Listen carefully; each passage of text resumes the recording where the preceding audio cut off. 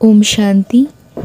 জ্ঞান সাগর, বাবা বলেছেন, আমাদের সম্পূর্ণ পবিত্র হতে হবে। তাই কখনো কাউকে দুঃখ যাতে না দেই। কর্মেন্দ্রিয়ের দ্বারা কোনো রকম বিকর্ম যেন না হয়, সদা বাবার আদেশ অনুসারে চলতে থাকতে হবে। আত্মিক বাচ্চাদের প্রতি আত্মিক পিতা সাবধানী নির্দেশ দেন যে বাচ্চারা নিজেদেরকে সঙ্গম যুগে ভাবো সত্যযুগে তো ভাববে না। আমরা ব্রাহ্মণরাই নিজেদেরকে সঙ্গম যুগে ভাবব। অন্যরা তো সবাই নিজেদেরকে কলিযুগী ভাবছে। অনেক তফাত আছে, সত্যযুগ ও কলিযুগ স্বর্গবাসী বা নরকবাসী। আমরা হলাম না স্বর্গবাসী, না নরকবাসী। আমরা হলাম পুরুষোত্তম সঙ্গমবাসী। এই সঙ্গম যুগকে আমরা ব্রাহ্মণরাই জানি, আর কেউ জানে না। আমরা যদিও জানি, কিন্তু বারে বারে ভুলে যাই। এখন মানুষকে কীভাবে বোঝাবো? তারা তো রাবণের শৃঙ্খলে আবদ্ধ আছে। রামরাজ্য তো নয়, রাবণ দহন করতেই থাকে। এর দ্বারা প্রমাণিত হয়ে যে, এটাই হলো রাবণ রাজ্য। আজ প্রাপ্ত মুরলীর হিসাবে আমি আত্মা, নিজের স্থিতি ও আন্তরিক পুরুষার্থকে দেখছি। আজ নিজের চেকিং চার্ট নিয়ে স্ব চেকিং করার লক্ষ্যে বাপদাদার সম্মুখে আমি উপস্থিত হয়েছি। সারাদিনের সব কাজ সেরে হালকা হয়ে বাপদাদার সম্মুখে উপস্থিত হয়ে শুরু করছি আমার আজকের দিনের চেকিং চার্ট।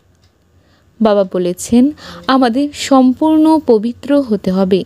তাই কখনো কাউকে যেন দুঃখ না দিই। কর্মেন্দ্রিয়ের দ্বারা কোনো রকম বিকর্ম যেন না হয়, সদা বাবার আদেশ অনুসারে চলতে হবে। তাই আমি আত্মা চেক করে চলেছি।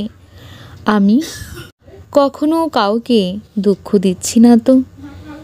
সদা বাবার আদেশ অনুসারে চলছি কি?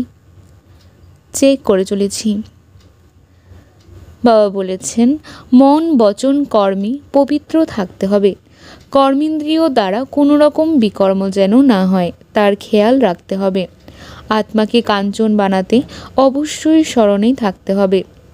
তাই আমি আত্মা চেক করে চলেছি। আমি মন বচন কর্মে পবিত্র, থাকছি কি?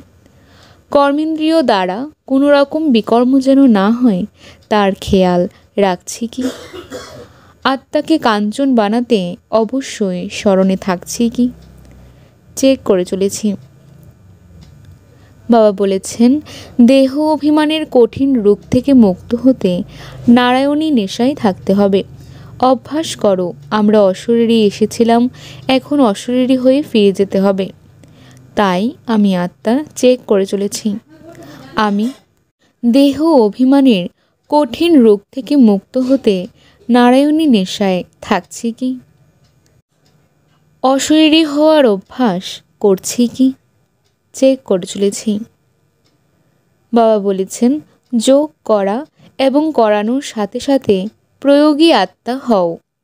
তাই আমি আত্মা চেক করে চলেছি। আমি যোগ করা এবং করানোর সাথে সাথে প্রয়োগী আত্মা হচ্ছে কি? চেক করে চলেছি। বাবা বলেছেন অনুভবী আত্মারা কখনো বায়ুমণ্ডল বা সঙ্গের রঙে আসতে পারবে না। তাই আমি আত্মা চেক করে চলেছি। আমি অনুভবী আত্মা হচ্ছে কি? চেক করে চলেছি।